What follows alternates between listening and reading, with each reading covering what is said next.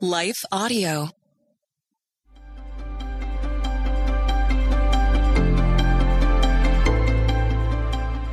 Welcome to the Crosswalk Devotional. We're so glad to have you listening. I'm Lynette Kittle, and today's topic is Will God really work all things together for our good?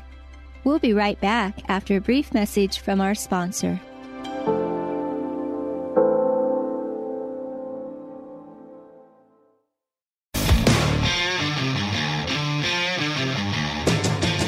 Hi, I'm Zach, And I'm Randy. and we're from Salty Saints Podcast. We're a theology and apologetics podcast. We hope to better equip you to be salt and light for your community.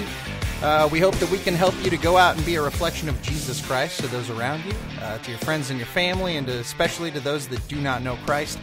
To find out more, subscribe at lifeaudio.com.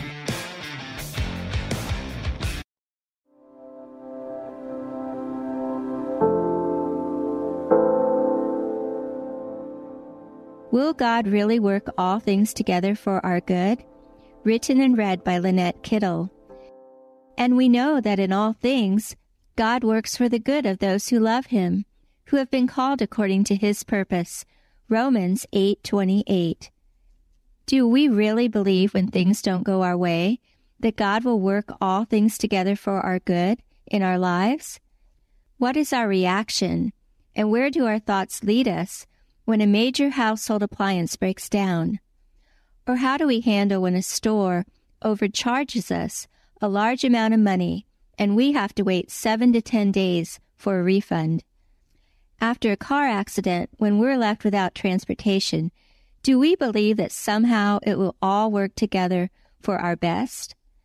In all these situations where we suffer losses and are inconvenienced, where we feel drained of energy and resources, exhausted dealing with the hassles involved in the losses, replacements, and so forth, do we really believe God will work these things together for good in our lives?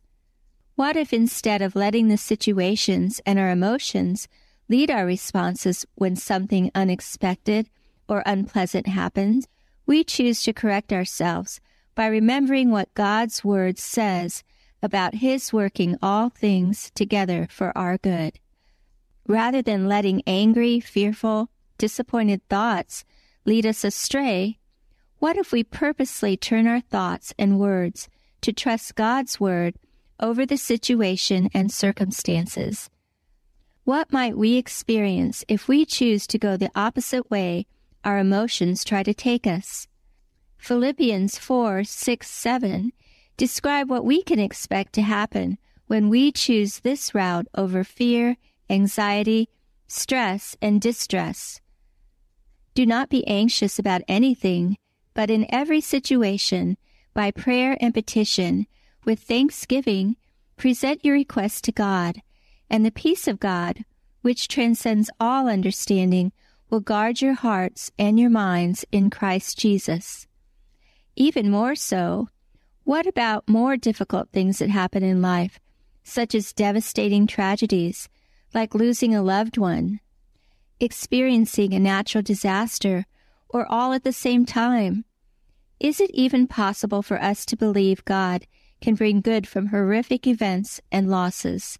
Human emotions are quick to rush in and often take over in such heartbreaking situations. When they do, how do we respond? Are we quick to readjust our frail and vulnerable first responses to line up with God's Word rather than our situation? Or do we let the circumstances run away with us and take us off to dark places with our thoughts and emotions? Trusting God and believing what His Word tells us is true takes time and practice to develop within us. It also takes a commitment to know His Word and to let it lead us in our responses. Turning to God and His promises rather than our own fears brings comfort and relief, freeing us from distress, panic, and doubt. Even if it looks impossible for an event, situation, or circumstance to ever be worked together for our good, we can choose to trust Him. We can resist trying to second guess or figure out how God could possibly weave it together in a good way. Like Proverbs 3 5 and 6 encourages us to do, trust in the Lord with all your heart, and lean not on your own understanding. In all your ways submit to Him, and He will make your paths straight. Even in the deepest, darkest hours, we can lean on Him. We can trust His Word, His truth, even when it doesn't seem to fit or make sense to us at the time. Intersecting faith and life. Is there a situation or circumstance in your own life that has you wondering how God could ever work it all together for your good? If so, choose to trust Him today and let go of your fears and doubts, believing He will do what His Word promises He will do. Further reading Three powerful truths from Romans 8:28 that we've been missing. The Crosswalk Devotional is a production of Life Audio and Salem Media.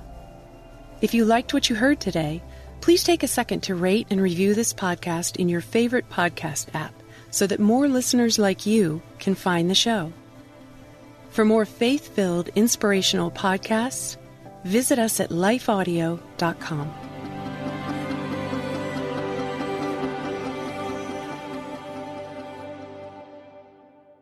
Hey, everybody, I'm Dale. And I'm Tamara, We're hosts of the Kainos Project podcast. where we help you tackle ancient Christian truths in an everyday settings. To learn more and subscribe, go to lifeaudio.com.